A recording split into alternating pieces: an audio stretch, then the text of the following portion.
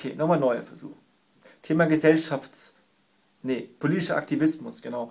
Also eben war ich ja bei Gesellschaftskritik und äh, dann auch kurz das Thema Selbstmord angeschnitten und jetzt bin ich beim Thema Aktivismus.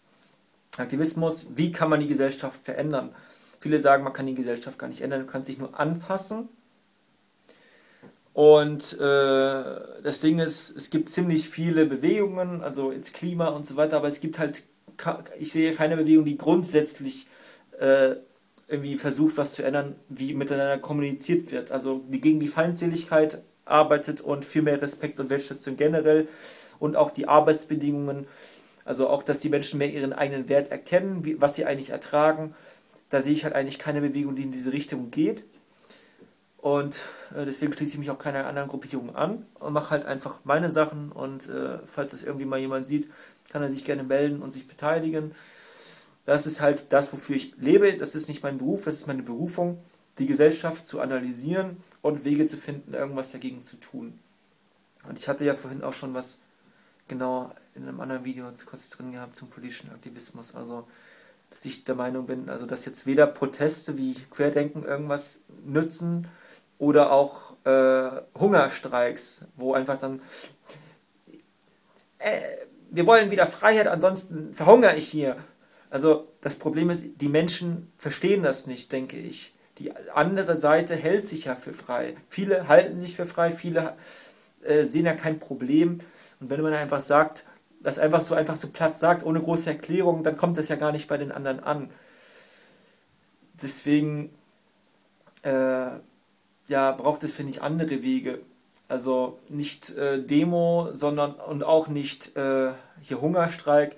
Es braucht eher so eine Art mit auch das die Idee fand ich gut, ganz gut Mitmachausstellung oder was interaktives, dass man mit den Menschen zusammen darüber nachdenkt, was ist eigentlich Freiheit, was braucht eigentlich eine freie ein freier Staat, braucht ein freier Staat offene freie Menschen, was ist eigentlich mit der ganzen Angst und dem ganzen Misstrauen bei den Menschen. Wie, was gibt es denn für Symptome bei den Menschen, dass sie voller Angst und Misstrauen sind?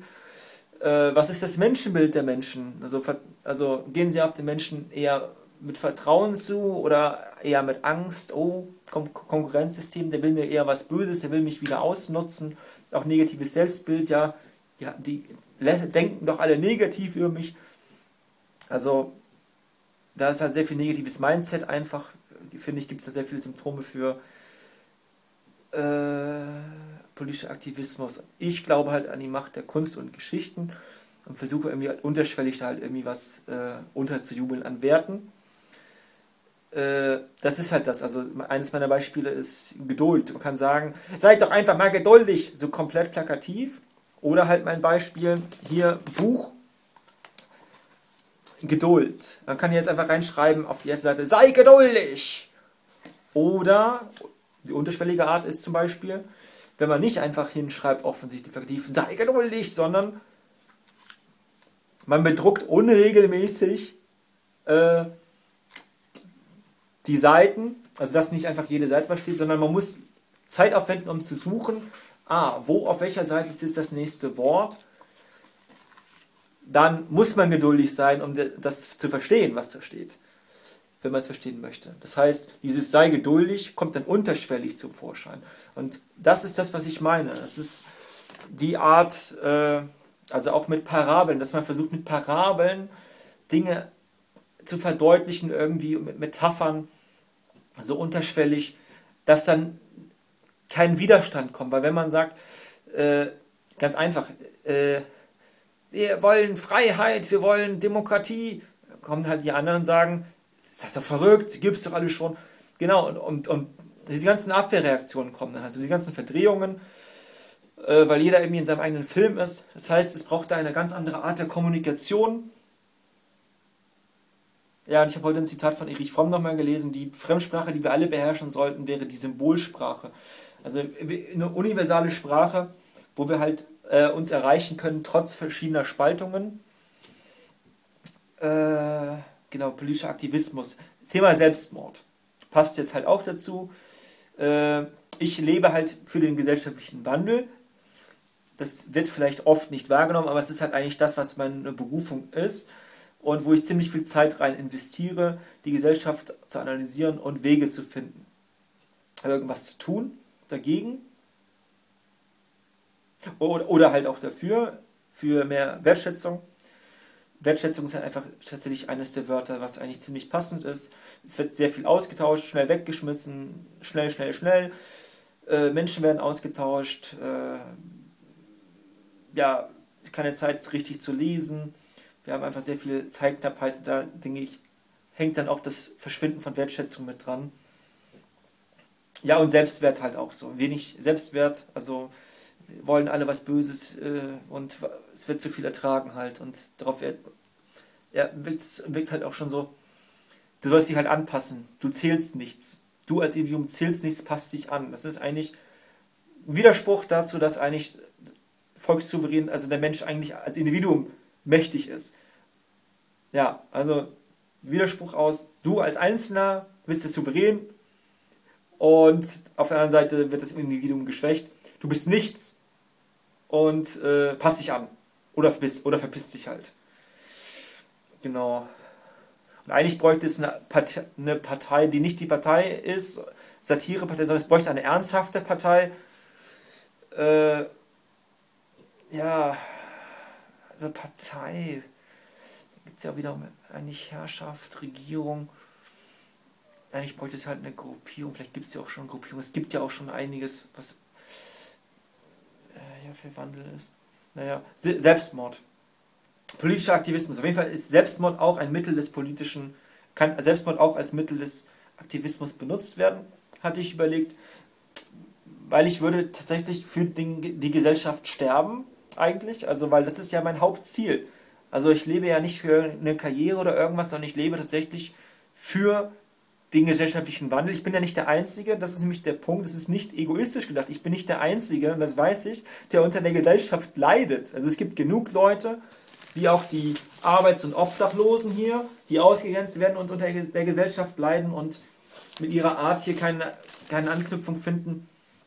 Und es gibt ganz viele Depressive. Es gibt genug Leute, die unter der Normalität und der Gesellschaft leiden. Das heißt, dieser Kampf ist nicht nur für mich egoistisch, sondern für verschiedene andere. Und äh, ja, da stecke ich sehr viel rein. Und wenn ich irgendwann Selbstmord machen sollte, würde ich den politisch instrumentalisieren und tatsächlich vielleicht auch so sagen, ihr seid schuld daran. Ihr ganzen Gutmenschen seid schuld daran, dass ich mich jetzt umgebracht habe. Und jetzt seht endlich ein, was ihr hier für eine Scheiße verzapft habt und reflektiert mal euer Verhalten, wie ihr auf an, mit anderen Menschen umgegangen seid. Wahrscheinlich wird dann das keiner einsehen und sagen, hat sie umgebracht, Egoist, selber schuld, so. Geil. Und ja, aber vielleicht wird man dann ernst genommen. Ne? Also ist halt die Frage, ne? was muss man eigentlich tun, um ernst genommen zu werden? Ne? Also was muss man eigentlich androhen, dass man ernst genommen wird? Also das ist ja auch der politische Aktivismus. Also wie weit muss man gehen, dass man gehört wird? Also dass mal was getan wird. Und äh, ja, aber hatte ich ja vorhin schon zu was gesagt. Das schneide ich vielleicht einfach hier hinter. Äh, genau. Passt du dann auch mit Star Trek zu dieser Zeitung hier ich glaube, das war es das jetzt, also politischer Aktivismus, Proteste, Demos, äh, Hungerstreik, Kunstgeschichten, subtil. Subtil irgendwas, dass keine Abwehrreaktion stattfindet. Also weil dieses Fordern, wir wollen Freiheit oder ihr seid das und das, das meine ich, das kommt, das bringt nichts. Das wird nicht verstanden man muss sich, man muss die, ja, ich, hab, ich vergleiche das schon gerne mit dem Physiklehrer, man muss sich in die anderen empathisch einfühlen, die man äh, erreichen möchte, die Zielgruppe, und dann ja, da abholen, wo sie sind. Wie kann ich das jetzt verpacken? Die Verpackung ist nämlich das, dass es bei denen ankommt. Genau, ich mag das mit der Verpackung, dieses Bild. Äh, es wird halt oft gesagt, die Information ist da, auch zum Klimawandel und, und, und so weiter, warum tut sich nichts? Das, ich glaube, das kann alle betreffen, die für irgendeinen Wandel kämpfen. Es mag sein, dass alles auf dem Tisch ist an Informationen und dann kann man sich aufregen, warum die Leute denn nichts tun. Ja, vielleicht haben wir die Informationen einfach noch falsch verpackt. Das ist, glaube ich, oft der Punkt. Wir müssen die richtige Verpackung finden. Einen richtigen Kommunikationsweg. Dass es aufgenommen wird, ohne dass es abgestoßen wird.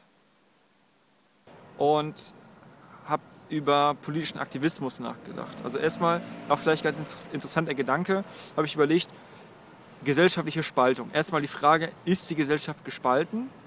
Ja oder nein? Wenn man sich dann, und dann ist die Frage, in welche Teile ist die Gesellschaft eigentlich gespalten?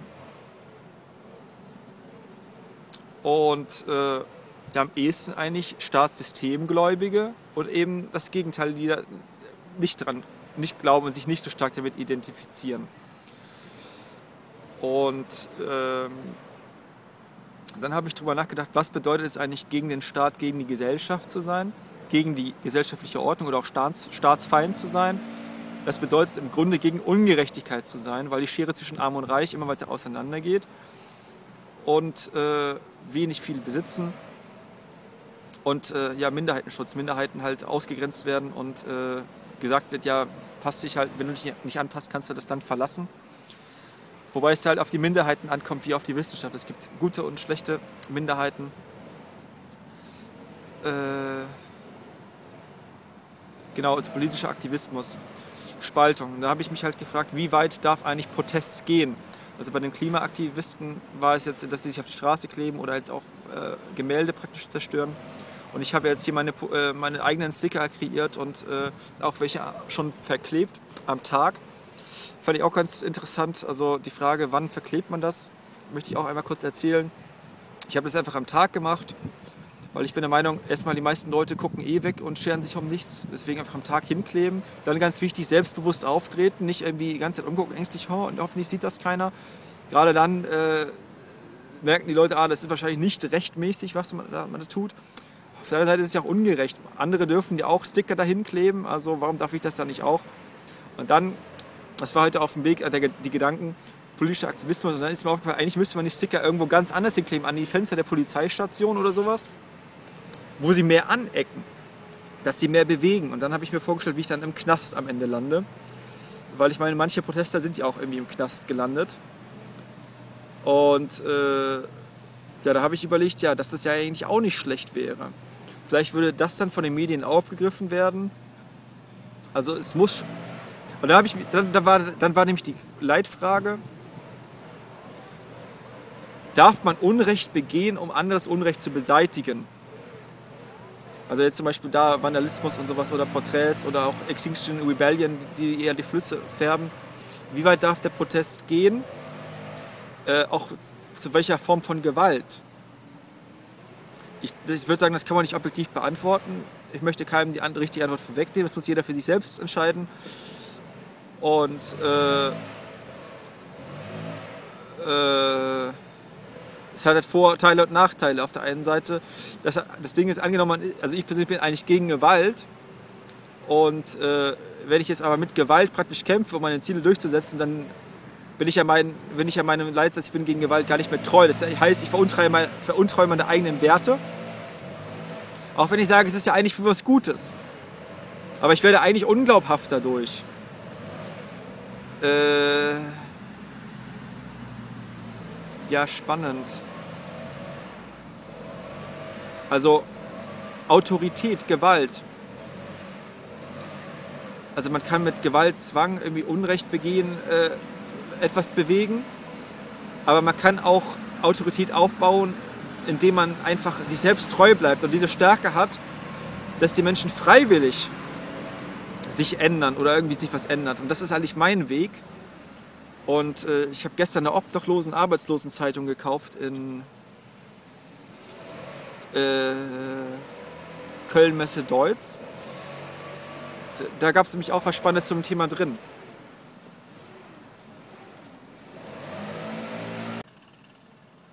Ja, ich habe mir jetzt nicht die ganzen Details gemerkt, aber es ging sehr viel um Star Trek und alte Star Trek-Folgen, neue Star Trek-Folgen und was es da alles an Völkern und Figuren bei Star Trek gibt. Ich habe mich damit nie richtig auseinandergesetzt, aber es wurde eine Szene beschrieben, die hat sich bei mir eingebrannt, wo einer die Möglichkeit hatte, sich am Feind zu rächen und für die gute Sache im Prinzip äh, den anderen zu töten und damit halt Frieden herzustellen. Also wie wenn man jetzt Putin abknallt. Also mit Gewalt irgendwie den Frieden herbeiführen. Und in, in dieser Star Trek-Folge äh, wurde das aber nicht gemacht. Da wurde der andere Böse lebend gelassen.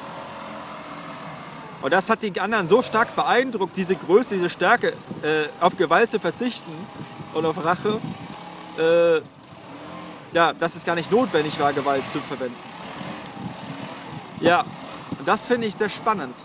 Deswegen bin ich tatsächlich da zwiegespalten zwischen äh, Unrecht begehen, also Gewalt verüben, also irgendwas vandalieren, kaputt machen, fremdes Eigentum, um eigene Ziele zu erreichen. Äh, da bin ich eher für harmlosere Wege und tatsächlich eigentlich ist meine Grundidee jetzt halt, jetzt wird es hier laut, ich, vielleicht gehe ich doch mal weiter,